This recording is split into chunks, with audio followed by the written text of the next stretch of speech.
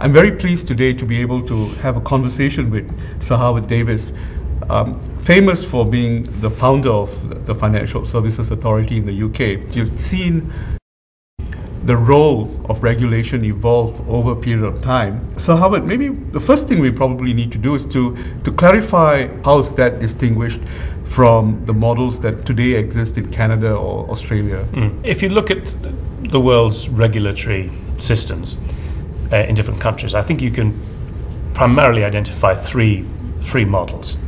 One is the traditional three pillar model, whereby the central bank regulates banks there's a Securities Commission, an SEC, that regulates securities markets, and then usually some other body that regulates insurance, uh, sometimes as a government ministry or sometimes an insurance commission. That was the sort of standard model, if you like.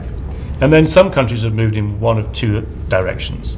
One, which is called Twin Peaks, which was actually a paper written by somebody from the LSE and somebody from the IMF about 15 years ago, which said that you should distinguish between prudential regulation, i.e., capital, safety, and soundness regulation, and conduct of business regulation. In other words, transparency, disclosure, insider dealing, all that stuff.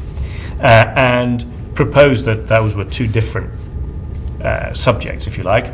And the Australians moved to institute something called Twin Peaks with the, uh, a prudential regulator outside the central bank, actually, uh, and a conduct of business regulator separately. Now, actually, very few other countries have followed that. The Canadian model is a bit different because there is one prudential regulator, but there isn't a national securities regulator because it's all done on a provincial basis. Uh, but the Netherlands have moved in that direction, and there are one or two other countries thinking about it. Then the third model is the integrated regulator model, whereby you have a single entity that does all aspects of regulation.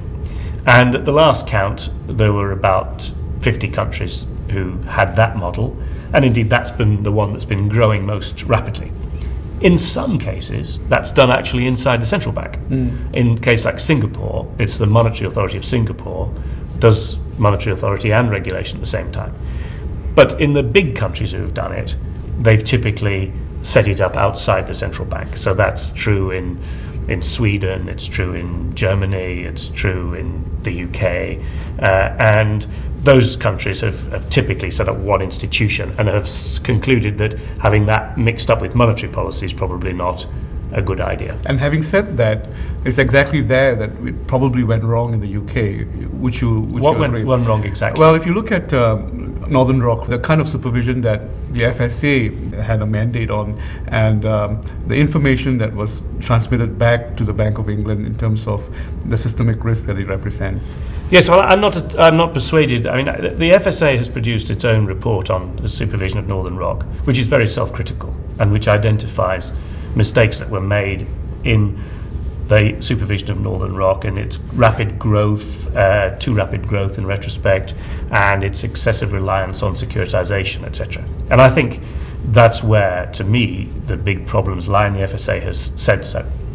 This issue about the relationship with the Bank of England, I'm not convinced. Um, I think the Bank of England knew perfectly well what was going on in the securities markets. They had a big financial stability area. They could know that. And, and nobody's convinced me that it was just a question of not uh, an information flowing backwards and forwards. Uh, I think the Bank of England knew what was going on. But when it came to it, the Bank of England did not think it was right to intervene to rescue Northern Rock um, because they didn't think that the entity would, could survive, and so they didn't want to provide large amounts of liquidity to it. And eventually, of course, it had to be taken over by the government and had to be nationalized. Right. Um, and that process took some time because the government was not prepared to accept that it needed to be nationalized.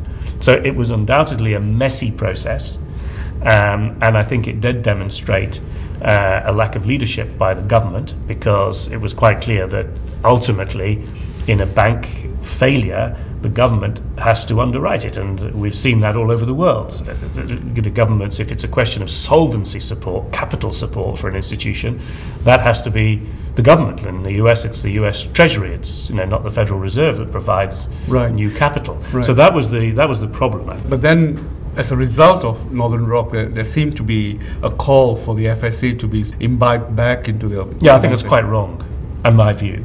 Uh, I don't see any need for that at all.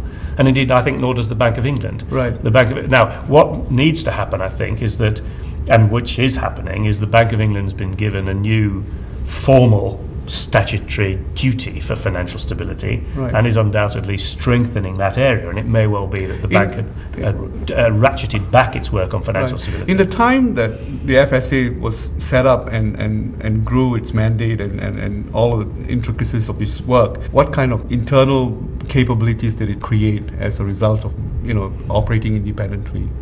Well, the first thing important to note that the FSA took 450 people from the Bank of England. And therefore, all the Bank of England's abilities on prudential supervision and market oversight, etc., were moved to the FSA. So there was no change. I was at the Bank of England That's right. one day, and then I was at the FSA the next day. So the argument that somehow it lost expertise is just frankly absurd because it actually took all of the expertise from the Bank of Having England to said do that, that. Um, it erred on the side of the customer. In, in No, I think it's just not true. These arguments are made by people who have no understanding of what the regulator actually does.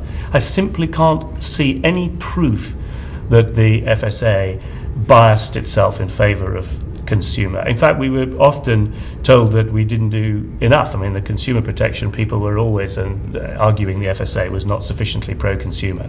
And the FSA is one of the very few regulators in the world, the first regulator in the world to produce its own financial stability report, because the FSA took its financial stability responsibilities quite seriously. If you compare the FSA to, say, APRA or the OSFI in, in Canada, their mandates are much more narrowly defined. Were you taking on too much? I don't think so. I didn't. Uh, I never felt it. We, we were, and indeed, there's an important need for uh, communication between the conduct of business and the financial stability regulators uh, in a number of areas. I mean, especially in the insurance area, and in Australia, of course, the failure of HIH. There was then a royal commission looking into that, which argued that there needed to be much closer communication between the financial stability and the conduct of business regulators. Uh, so, uh, but I just don't, uh, I, I don't understand where the argument that the FSA was only a consumer protection regulator comes from. It certainly does not bear any resemblance to what I job I did during the six years I was there.